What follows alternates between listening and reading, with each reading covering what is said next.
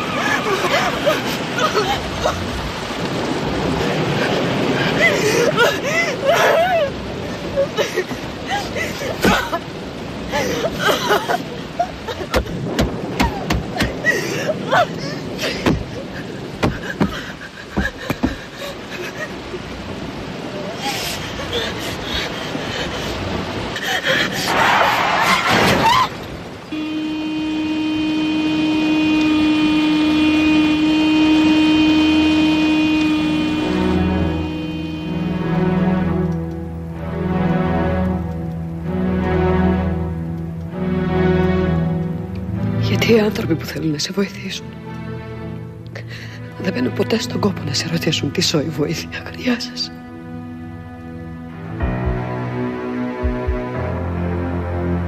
Πέρα από την αλήθεια που βλέπεις, πέρα από την αλήθεια που ακούς, που διαβάζεις, που αισθάνεσαι, πέρα από την αλήθεια του θήτη και του θύματος, υπάρχει και μια άλλη αλήθεια. Όταν ο άνθρωπος ξεπερνάει τα όρια του και ο χρόνος χάνει τη σημασία του.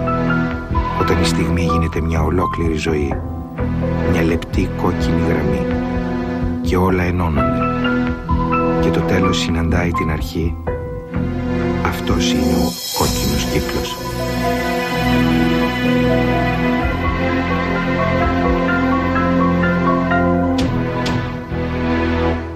Δεν ξέρω γιατί φτάσαμε μέχρι εδώ. Δεν έπρεπε. Όλα ήταν τόσο όμορφα. Τόσο όμορφα.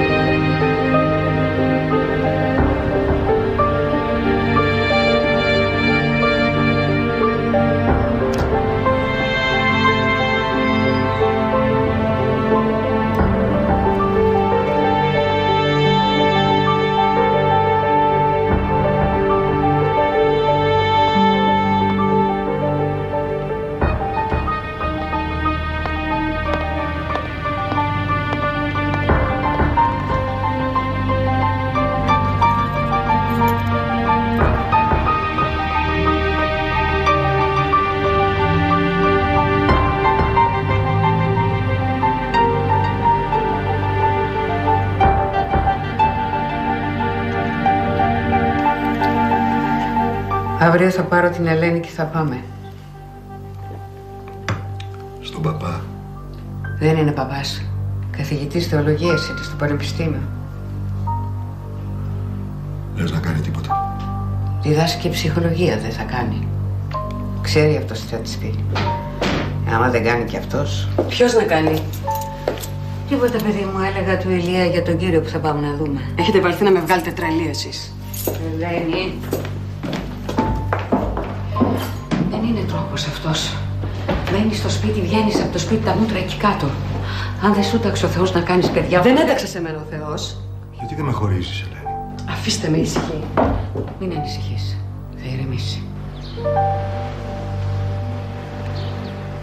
Μαμά, εσύ νομίζεις ότι είμαι καμιά δαιμονισμένη και με τρέχεις στους παπάδες.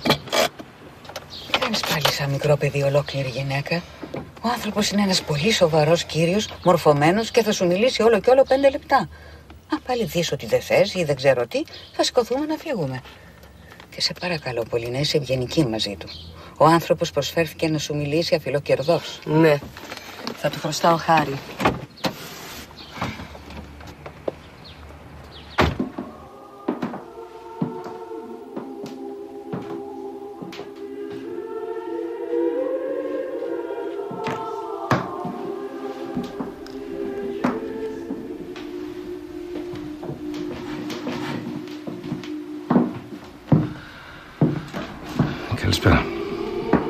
Καλησπέρα. Σας διακόψαμε; Όχι, όχι, όχι. Καθόλου. Σας περίμενα. Υποθέτω η Ελένη. Χαίρομαι πολύ. Λοιπόν, εγώ λέω να τα πούμε κάνοντας μια βόλτα στον κήπο. Όπως προτιμάτε. Εσείς μπορείτε να περιμένετε. Δεν θα αργήσουμε.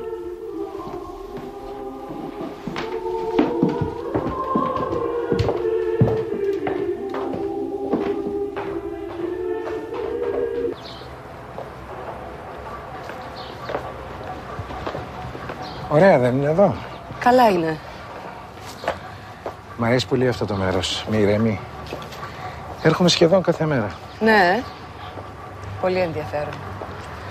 Έχει πολύ καλή βιβλιοθήκη εδώ. Η οποία βέβαια όσο καλή κι αν είναι για το πνεύμα, δεν είναι το πιο κατάλληλο μέρος για μια τέτοια κουβέντα. Εγώ νομίζω πως δεν χρειάζεται καν να γίνει αυτή η κουβέντα. Αν έτσι αισθάνεσαι, εγώ δεν έχω καμία αντίρρηση. Ούτε θεωρώ πως είμαι και ο πιο κατάλληλος άνθρωπος να σου μιλήσει. Σωστά. Χάρηκα. Πάντως δεν νομίζω ότι έχεις να φοβηθείς τίποτα από μένα. Φροντίζω να εφαρμόζω στην πράξη όσα διδάσκει η πίστη μας. Δηλαδή, Δεν κρίνω για να μην κρυθώ.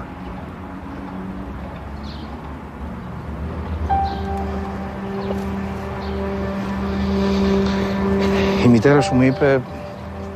Η μητέρα σου ανησυχεί πολύ για σένα. ναι, νομίζω ότι είμαι λίγο τρελή. Δεν καταλαβαίνει. Οι άνθρωποι κάνουμε πολύ εύκολα λάθη. Η μητέρα σου έχει εσένα. Εσύ θέλεις ένα παιδί, αλλά δεν μπορείς να το έχεις. Σε καταλαβαίνει όσο ένας πλούσιος το φτωχό.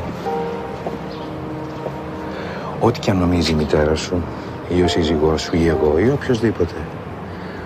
Αυτό δεν αλλάζει την αλήθεια. Και η αλήθεια είναι ότι δεν είσαι τρελή. Είσαι απλώς σε μια πολύ δύσκολη θέση.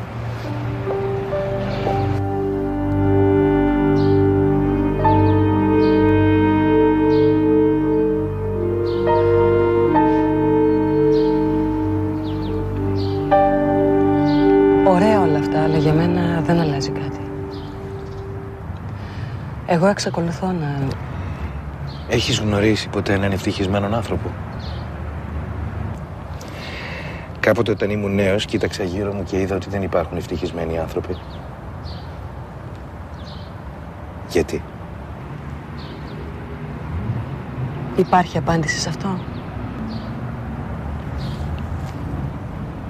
Υπάρχει.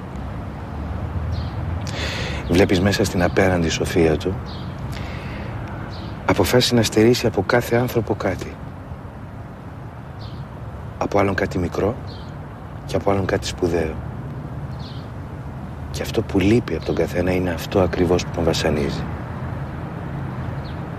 Αυτό που τον κρατάει μακριά από την ευτυχία.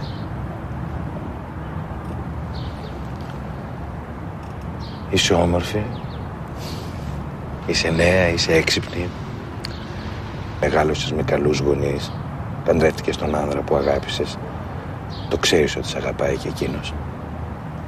Οικονομικό πρόβλημα δεν έχετε, είστε και οι δυο υγιείς. Θα έλεγε κανείς πως έχετε τα πάντα. Εκτός από ένα παιδί. Ποιος Θεός το κάνει αυτό; Μας έκανε το πιο σπουδαίο δώρο. Τη ζωή. Και μας χάρισε από δίπλα μυαλό, κρίση και αισθήματα. Και μας άφησε να συμπληρώσουμε μόνοι μας την ευτυχία που θέλουμε. Ο πιο γνήσιος από τους γονείς, ο Θεός, αφήνει τα παιδιά του ελεύθερα να αποφασίσουν αν θα είναι ευτυχισμένα ή όχι.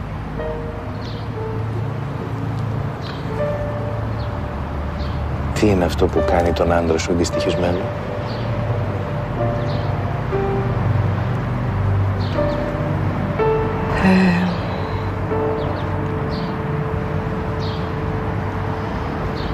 Εγώ.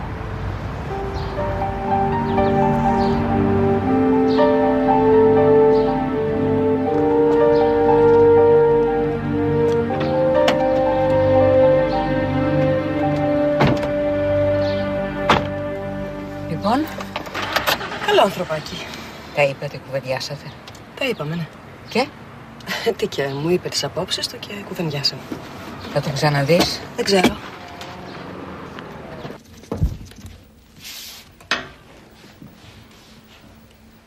Σου έδωσαν άνοπλη υπηρεσία. Μπα, Τότε; ό,τι αφήνεις, αφήνει.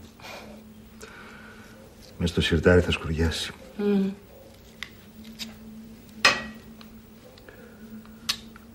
Ελένη, δεν θέλω να τα παίρνεις στραβά. Ξέρεις, εννοώ εκεί που πήγατε και τα λοιπά. Εγώ για σένα. Και για μένα δηλαδή, αλλά πιο πολύ για σένα. Θέλω να έχεις αυτό που σου αξίζει. Να είσαι ήρεμη, ευτυχισμένη. Το ξέρω.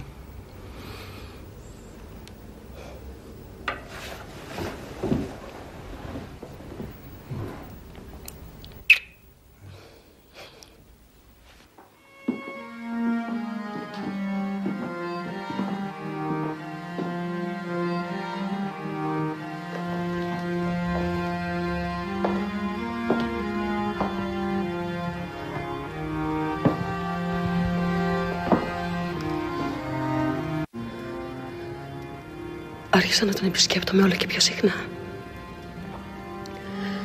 Μιλούσαμε με τις ώρες. Ήταν πάντα ευγενικός. Ήξερε τι να πει, πώς να το πει.